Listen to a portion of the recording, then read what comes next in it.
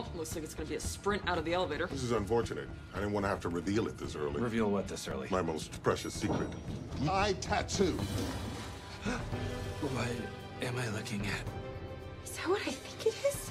Kevin's human head on Cheddar's dog body? I asked for a tattoo of Kevin and Cheddar. It's. It's the ultimate distraction. No, no, wait! wait. Sorry, but you're too late. The tube is mine. Wait, it's empty. Where to go? You looking for this? Surprise reveal. Gina?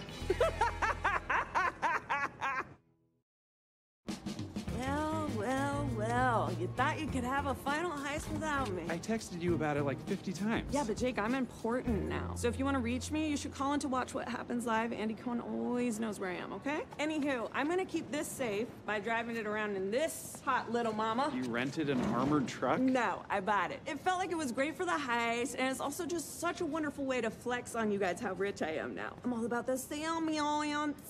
Salmon. You don't know about the $10,000 bill? It has a picture of Salmon P. Chase on it. He's like, it's sad you were unaware of that. Oh my gosh, this is embarrassing for all you broke bums. Uh, okay. You're gonna regret the day you fired me. You left of your own volition.